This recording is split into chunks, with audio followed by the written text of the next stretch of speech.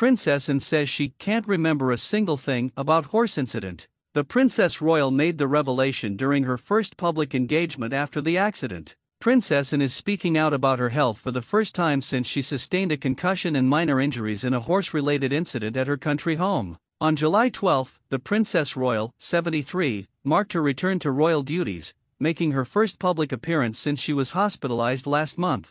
Hello. If you're new here, please do not forget to subscribe, like, and hit the notification bell to remain updated. During her visit to the Riding for the Disabled Association (RDA) National Championships at Hartpury University Anne Hartpury College in Gloucestershire, and shared that she can't remember a single thing about the incident, which is believed to have been caused by an impact from a horse's head or legs.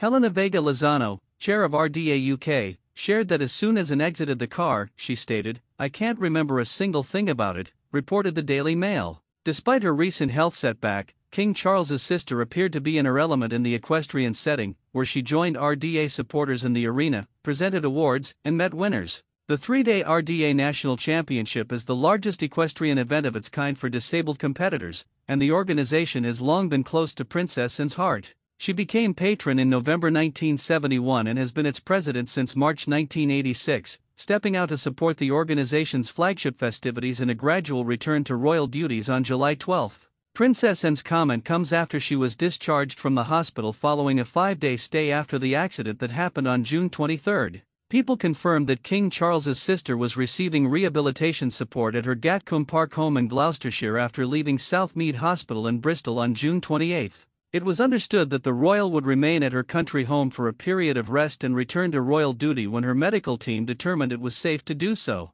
On June 25, the Telegraph reported that and was suffering memory loss, thought to be temporary, relating to the incident. When Princess Anne left the hospital, her husband, Vice Admiral Sir Timothy Lawrence, issued a short statement voicing his gratitude to her care team there. I would like to extend my warmest thanks to all the team at Southmead Hospital for their care, expertise, and kindness during my wife's short stay, said Sir Tim, who married Anne in 1992. Princess Anne and her husband Timothy Lawrence ride in a carriage after attending the Order of the Garter service at Windsor Castle on June 17, 2024 in Windsor, England. Princess Anne and Vice Admiral Sir Timothy Lawrence travel by carriage following the Order of the Garter service at Windsor Castle on June 17, 2024.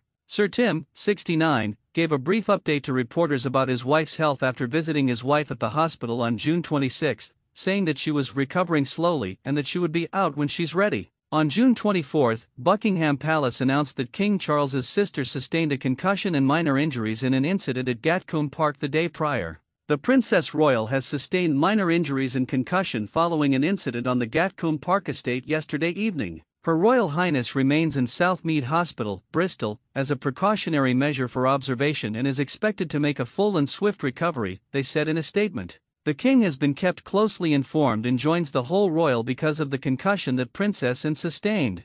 Thanks for watching till the end.